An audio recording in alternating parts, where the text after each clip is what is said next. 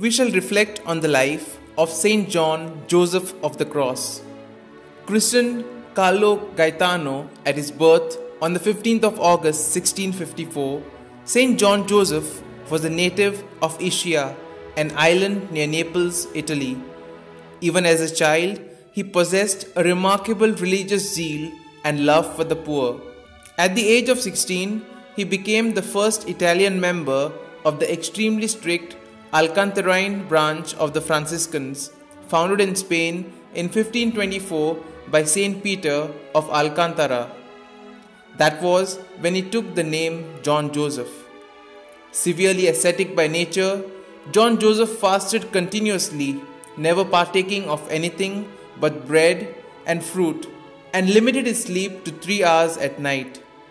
Having accepted priestly ordination strictly under obedience in the year 1677, he was made novice master at the age of 24 and later guardian of his monastery.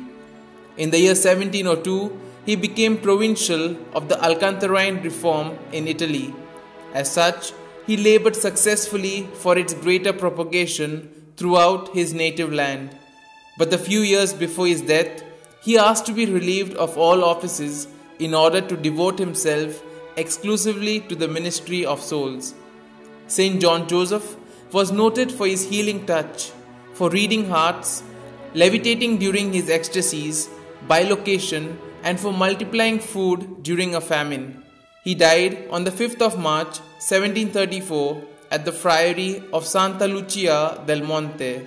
He was beatified by Pope Pius VI in 1789 and canonized by Pope Gregory XVI in the year 1839.